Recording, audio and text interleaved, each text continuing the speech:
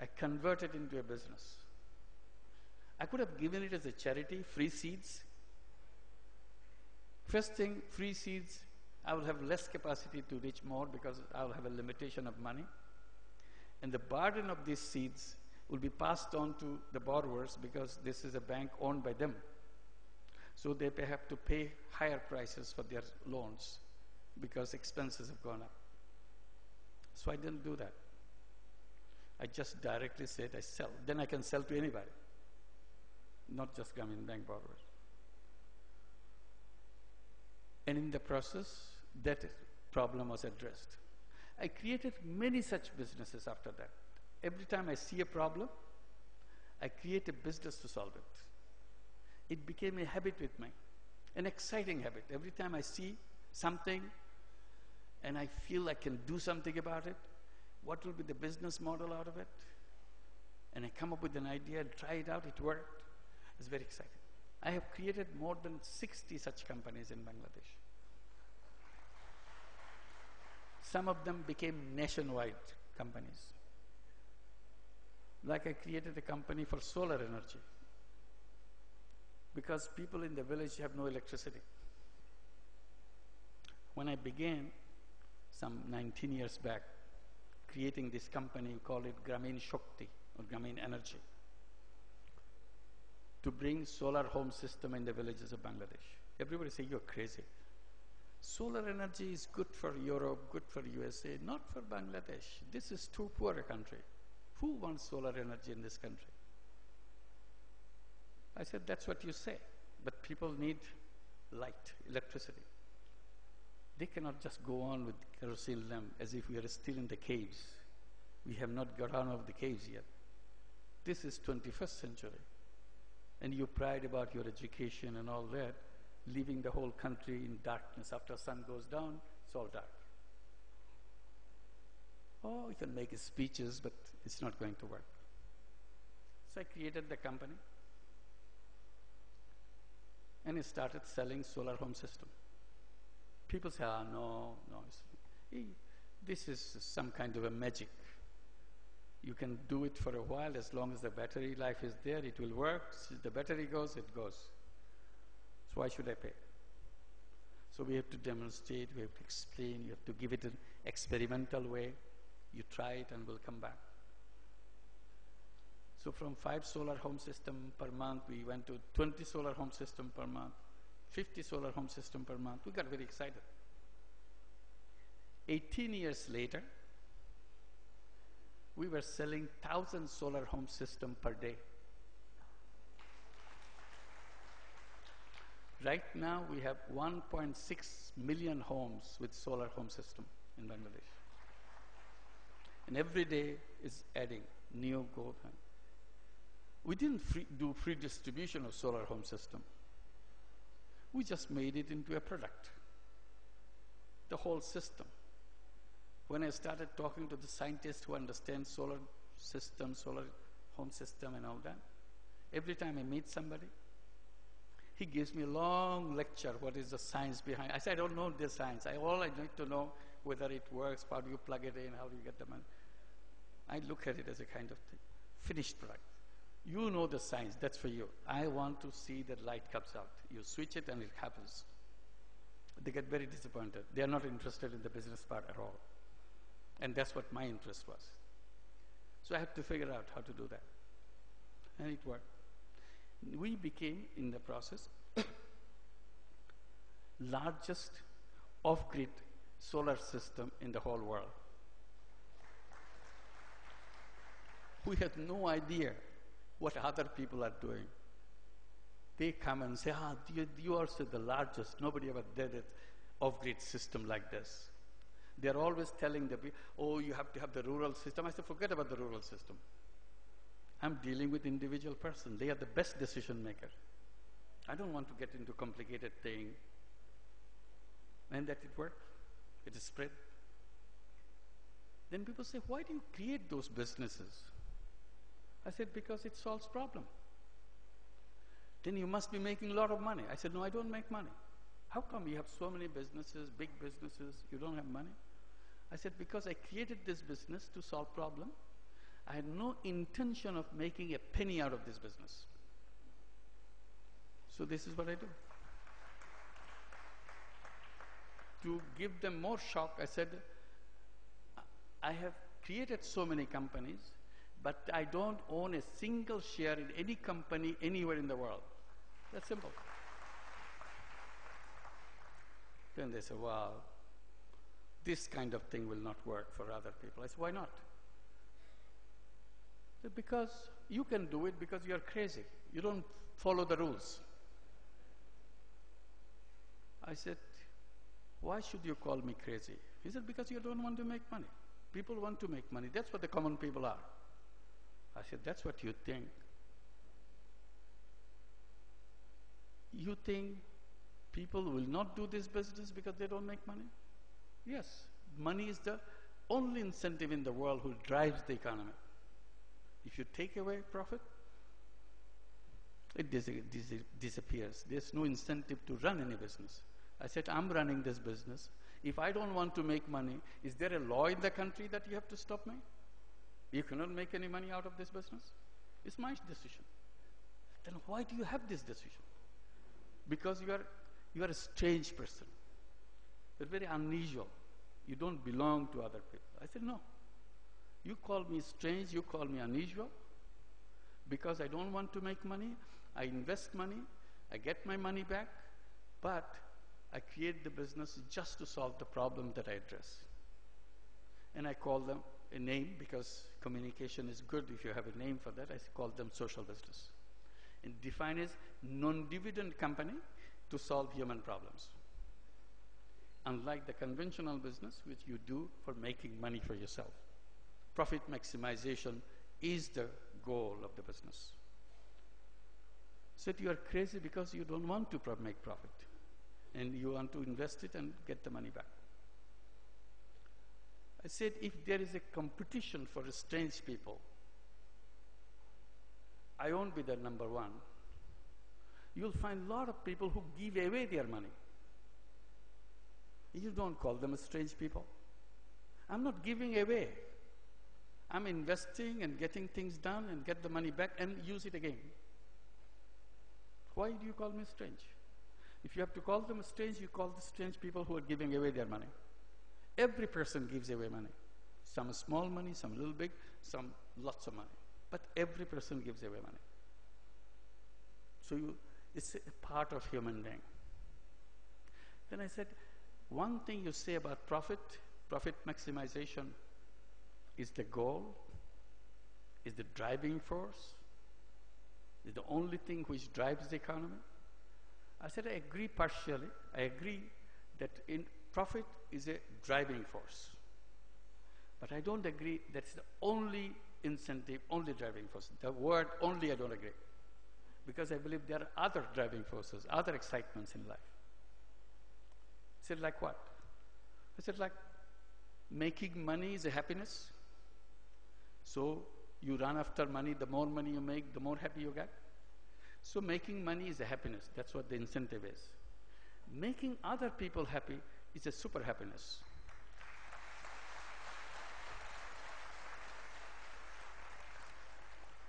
But you don't believe it because you never tasted it. If you ever tasted it, then you tell me which one tastes better. If I put two things on the table, you take only one thing and say, oh, this is good, and that's other one is not good. You have not even tasted it. How do you know it's not, other thing is not good? I said, first you have to taste it. And those who have tested it, they all say it is a super happiness. Once you have tasted it, you can't get away from it. It's a very intoxicating happiness. You can't get away.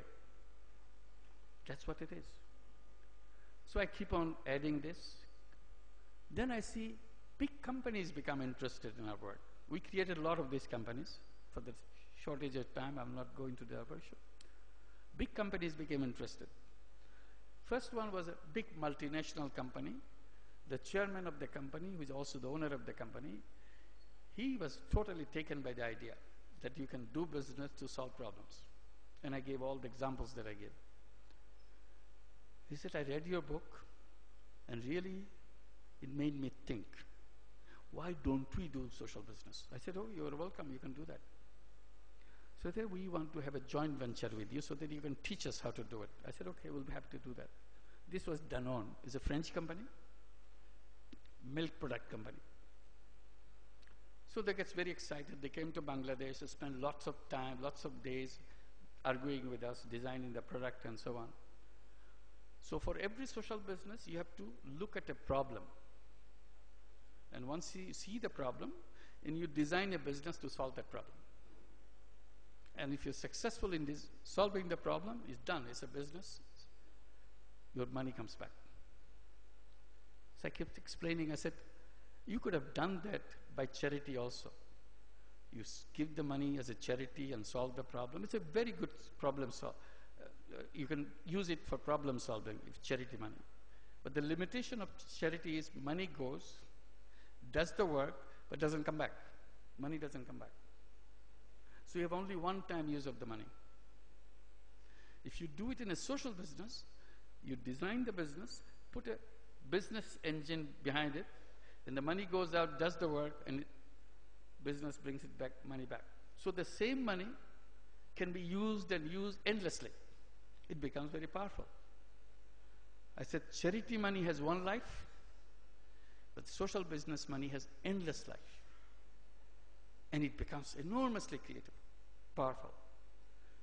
They don't like that idea. They created a company with us called Grameen Danone. The problem they chose is the malnutrition among the children.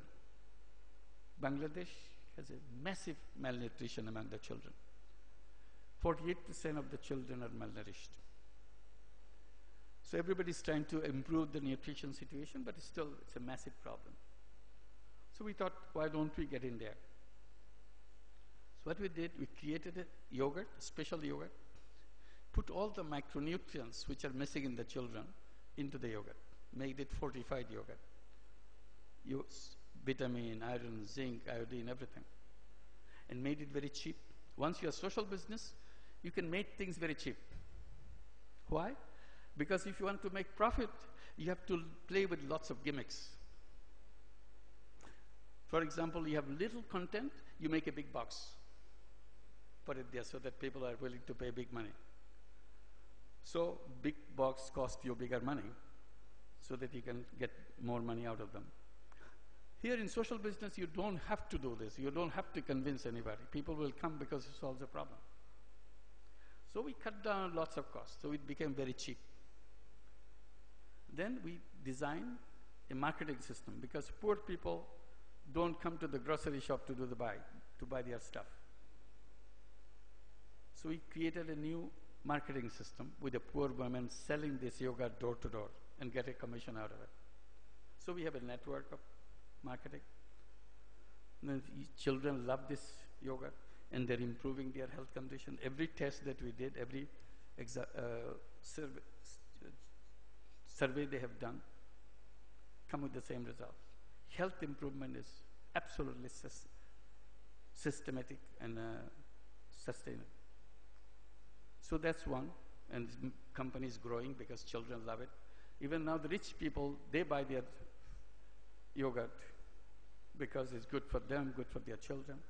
It's good taste, and it's a Danone yogurt. It's a prestige value. Why should the poor women have their children have Danone yogurt? We should have it too. So we did one thing. For big stores, we have a different color of thing, different container, and have a very high price. they love it. When you sell it cheap, people become suspicious, it's not good. When you make it expensive, rich people love it because you are the only one who can afford it. Let's have it. So now we sell them. We make money out of this and we cross subsidize for the poor people. So for poor people, it is less than cost of production. For rich people, it's much higher than cost of production. We make profit, so it goes. So this is one example of social business. We created a lot of others. And in the meantime, something happened which took me to another direction. I go back to the Grameen Bank and their families. All these women who joined Grameen Bank, They are illiterate women, never went to school, cannot read, cannot write. Their husbands never went to school, never read, never write. And at the very early days of Grameen Bank, we made a decision. We'll make sure their children do not repeat the same fate as their parents. 100% of the children of Grameen families must go to school, must finish school. And we did that.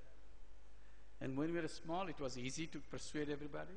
And after that, it became a habit. We don't even have to tell them because it became a new culture for them. If you join the Grameen Bank, you have to send your children to school. Otherwise, they will not give you money. So we took advantage. We didn't tell anybody anything. Simply, they thought this is the way to go. So we have 100% of the children, all these eight and a half million families that we talk about, are in school.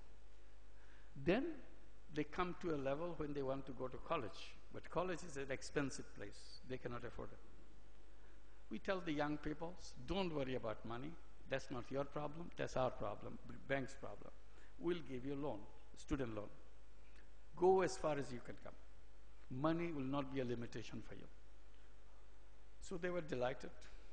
As a result, we have a completely new generation of young people with a highly educated professional people coming out of totally illiterate families. Some became doctors, many are engineers, many are professors in universities, and so on. But in the middle of it, a problem kept coming up. Young people who are graduating, looking for jobs, there is no job. Bangladesh doesn't have many jobs. We have lots of people, but no job opportunities. So they come and complain to me. Why did you send us to school? There is no job for us. In the beginning, I couldn't say what, what, good, what kind of message I gave them.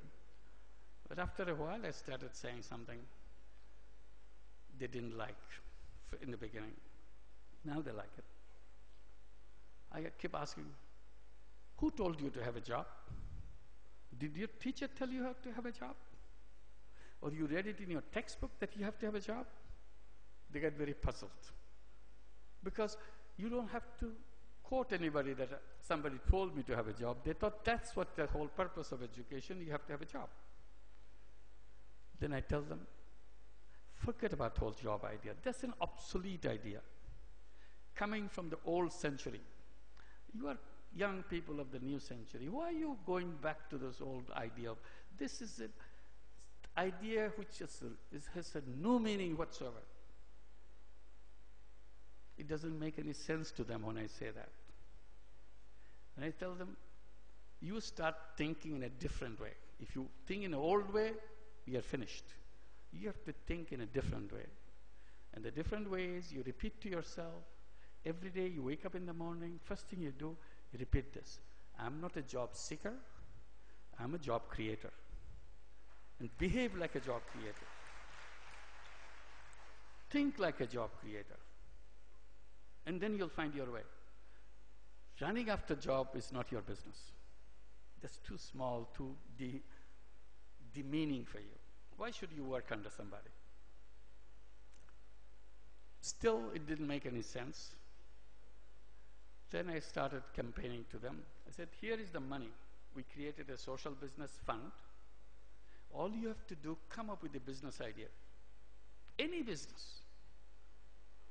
You come and tell us that it makes sense, and we see that yes, it, this business makes sense, and we put all the money you need as our investment and we become your partner. This is not a loan. This is an investment. We come as your partner. So we take the risk according to our share of our business, your business. So that we don't have to worry, am I going to successful? What happens if I fail? Nothing to worry. It's our money. We work together. We are partner. Now, young people are coming in thousands, in hundreds and thousands, keep coming and we keep selecting and investing in a new series of people coming. It's amazingly endless ideas. They come from remote villages. We don't work in the cities, I told you. So they come from the remote villages. The young girl of 19 year old presenting their bus her business proposition. I make beautiful dress. People love it. I sell the dresses. Then what do you want? I don't have a business because I don't have a shop. I don't. I have one old machine I took from my mother. It works, but not as good. So I need two new machines. You give me two new machines, money to buy, and I'll set it up. I'll train two young girls like me to do it. I can train them, and I'll set up my shop. And I'll do because I know how to make clothes. So we interrogate her, how, what's her calculation, how many, how much she can produce, how long it does take. She answers every single question because that's what she does. It's not she's not learning from books; she does it from her life. And we give her the money. How much money you need? We need 10,000 rupees. We need 15,000 rupees, or whatever. Here is the money. Go ahead. So this is how it works. So we get to 100,000, 200,000, 500,000 taka investments. And they take and they start investing. So they become entrepreneurs. We have very elaborate system. I mean, keeping track with each other, how to do that. Then I said, why people are unemployed? What I'm telling these young people, I now tell to everybody. Why are you looking for jobs? Job has no meaning to anybody's life. I said, human beings are not born to work somebody else, work for somebody else. Human beings are born as an entrepreneur. That's our history. We are go-getters. Human beings